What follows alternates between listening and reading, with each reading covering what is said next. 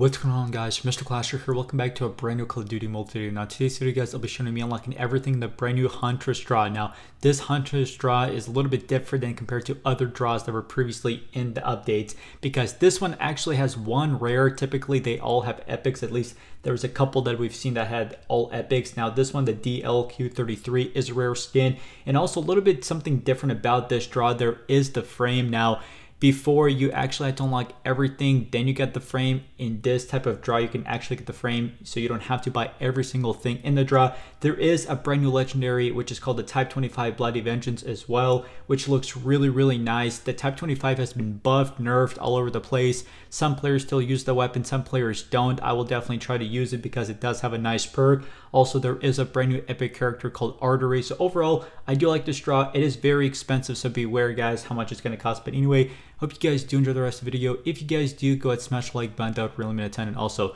if you guys are brand new to the channel, make sure you guys click the subscribe button for daily content and just enjoy the rest of the video.